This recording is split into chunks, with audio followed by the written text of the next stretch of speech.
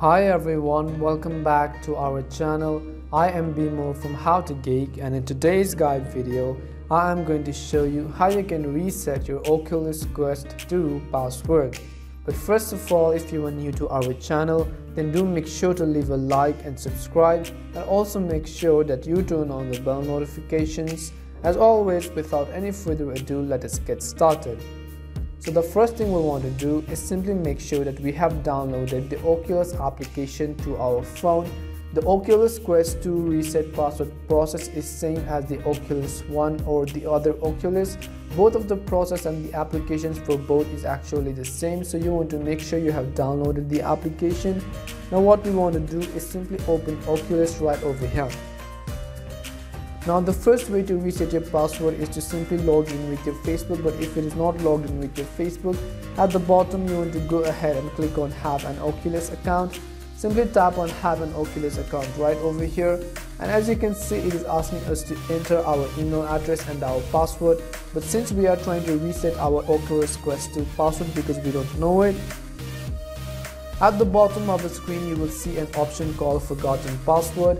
So what we want to do is simply tap on forgotten password right over here.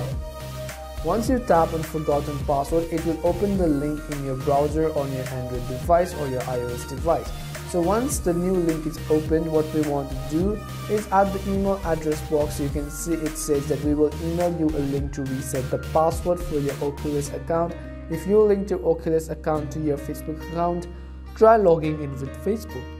So what we want to do is simply enter our email address right in this box. Once we enter our email address properly, you want to make sure that all of the spellings are correct and that you have access to this email address because it is going to send a verification code to that email. Once you enter your email address at the bottom, go ahead and click on send email.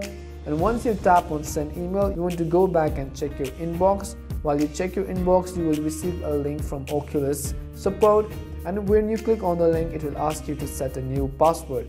Once you set a new password, come back to your Oculus Quest 2 account and then try to log in using the new password.